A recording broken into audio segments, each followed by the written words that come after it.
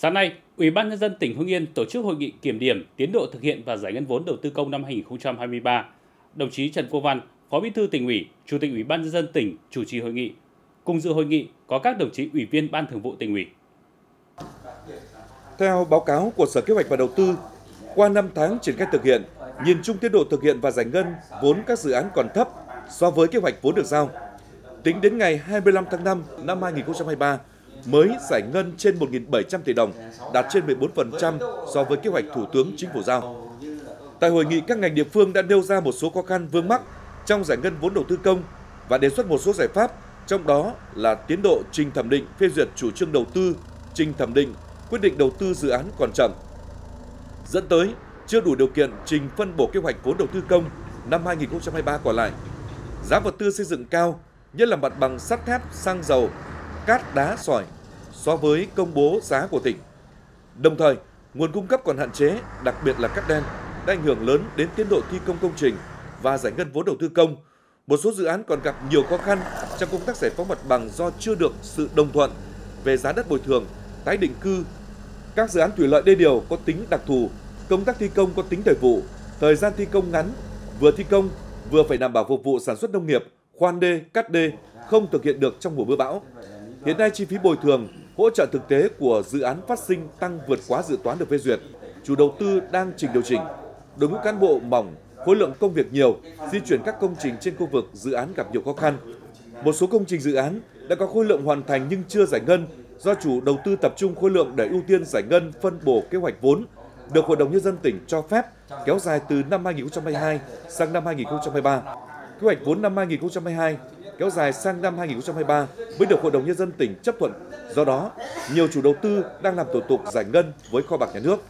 Kết luận hội nghị, Chủ tịch Ủy ban Nhân dân tỉnh Trần Quốc Văn nhấn mạnh, giải ngân vốn đầu tư công được coi là một trong những động lực thúc đẩy tăng trưởng kinh tế. Do đó, để đảm bảo được tiến độ giải ngân vốn đầu tư công, thúc đẩy phục hồi và phát triển ổn định kinh tế xã hội trong thời gian tới, cần cả hệ thống chính trị vào cuộc, có các giải pháp linh hoạt và đồng bộ để nhanh chóng tháo gỡ khó khăn, vướng mắc, trong đó tập trung tháo gỡ khó khăn, vướng mắc để đẩy nhanh tiến độ giải phóng mặt bằng, bố trí tái định cư phục vụ triển khai dự án, xử lý nhanh các thủ tục hành chính về đầu tư, đất đai, xây dựng quy hoạch, nhất là chủ trương đầu tư, phê duyệt dự án, xác định giá trị tài sản trên đất, phê duyệt phương án bồi thường, hỗ trợ tái định cư, phê duyệt hệ số ca, bố trí quỹ đất tái định cư,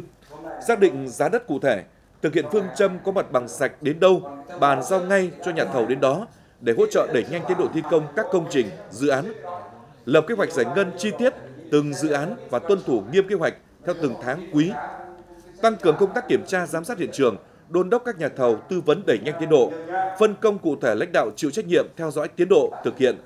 bám sát kịp thời tháo gỡ khó khăn và chịu trách nhiệm về kết quả giải ngân của từng dự án.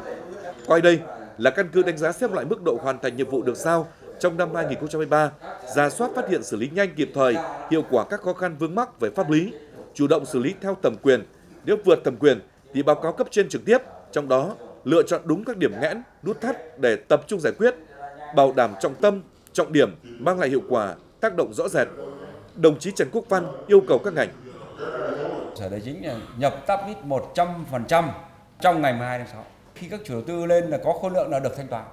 Đã có tắp ít rồi, cứ thế thanh toán bình thường. Còn cái thông báo trước thì đã điều hành là cái tiền đất chưa vào thì yêu cầu giải kho bạc với tài chính vẫn giải ngân bình thường. Cuối năm tiền đất không đủ thì điều chỉnh mùa, Cái đấy là có ủy ban tỉnh nó có có cái văn bản chỉ đạo rồi. Thì hôm nay là tiếp tục. Vì khó khăn là chưa nhập tam ít có một số huyện liên quan đến giá giá cả tăng cao thì rất khó khăn để triển khai đầu tư tiếp theo. Thì yêu cầu sở xây dựng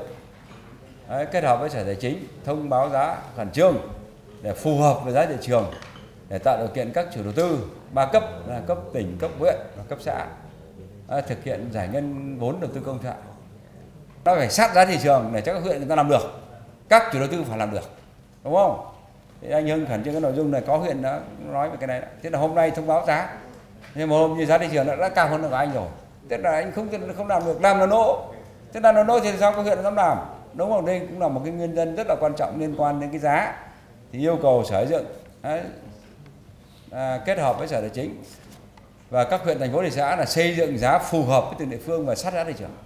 đảm bảo cho các chủ đầu tư thực hiện được. Liên quan đến ờ, giá đền bù giá, cái giá hệ số K, rồi giá khởi điểm để giải phóng mặt bằng, liên quan các huyện đã trình. Hiện nay thì tỉnh đã ủy quyền cho các ủy ban nhân các huyện, thành phố thị xã. Thế nhưng mà trong thời gian trực tiếp, các dự án mà đã trình hệ số K này, các giá khởi điểm mà đã trình hội đồng thẩm định, thông qua thì tiếp tục trình ủy ban tỉnh, nha, phê duyệt theo quy định. Đồng chí Chủ tịch Ủy ban nhân dân tỉnh yêu cầu các địa phương, các sở ngành tăng cường công tác lãnh đạo chỉ đạo, để mạnh phân cấp phân quyền phân công, phân nhiệm, cá thể hóa trách nhiệm đi đôi với phối hợp giám sát kiểm tra, đánh giá việc thực hiện và khen thưởng, kỷ luật kịp thời, nghiêm minh trong thực hiện kế hoạch đầu tư công, thay thế kịp thời những cán bộ công chức viên chức yếu kém về năng lực trì trệ, gây nhũng nhiễu phiền hà, kiên quyết xử lý các hành vi tiêu cực trong quản lý đầu tư công. Các trích lục, các khu đấu giá đất, thuộc để thu hồi đất và các dự án để thu hồi đất thì giao lại cho các huyện. Cái yêu cầu Sở Nông nghiệp, Sở Tài nguyên Môi trường giao lại cho các văn phòng đăng ký đất thực hiện nội dung này. Thế thì thôi, vì cái này nó không phải là tầm của tỉnh. Tỉnh làm cái này như tỉnh chỉ đạo của đó yêu cầu Sở Tài nguyên Môi trường chỉ đạo giao cho chi nhánh văn phòng đăng ký đất cả các huyện thành phố thị xã thực hiện liên quan đến ờ, giải phóng mặt bằng chuyển đổi thì giao sở, sở tài nguyên môi trường cùng phối hợp với các huyện nên không phải phù cử nữa đâu liên quan vướng mắc giải quyết các khó khăn ví dụ liên quan đến đất vi phạm như xây nhà vi phạm thì quyết tâm quyết liệt giải phóng 93 để thực hiện cái cái nội dung mà xây dựng các hệ thống giao thông. Còn lại các nội dung mà trước đây là tỉnh đã cho chủ trương là chuyển đổi lúc đó là chưa có quy hoạch thì sau là quy hoạch thì đền bù theo quy định. Chủ tịch Ủy ban nhân dân tỉnh yêu cầu các địa phương, các chủ đầu tư phải nỗ lực tập trung đề ra các giải pháp tổng thể để đến ngày 30 tháng 6, tỷ lệ giải ngân vốn đầu tư công, giải phóng mặt bằng đạt tối thiểu 40% trở lên ở cấp tỉnh, cấp xã phải trên 50%. Bởi đầu tư công tốt tạo điều kiện cho những ngành nghề phát triển cũng như những vấn đề an sinh xã hội.